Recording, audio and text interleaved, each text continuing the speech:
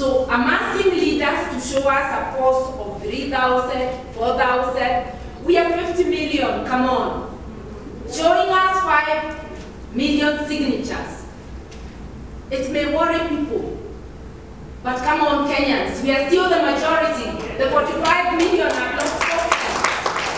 So today we are just reminding us, we have the authority and power to say no to cannibalization of the constitution, to the continuation of a parasitic model.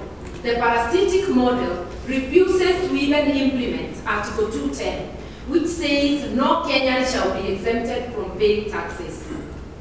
Parliament has never implemented the payment of taxes. People are still being exempted and given grants, free grants for cars. The Constitution forbids it because that is discriminatory. You can have a car loan but not a car grant. The parasitic model is what is making leaders gather together to betray Kenyans. We must refuse this model and call for the implementation of the Constitution. And to the President, we are saying to him, you must not betray your oath of office. He may have already, but we are reminding him he must not continue to do so. You are a leader of the entire nation, not a regional kingpin. You must uphold the rights of all Kenyans, including those of, from Mount Kenya. You must free Kenyans to exercise their right to choose their next leaders.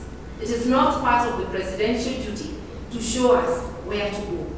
Kenyans are mature, they are well informed, and they will be able to give themselves guidance when the time comes. Let them have space for now to choose their priorities.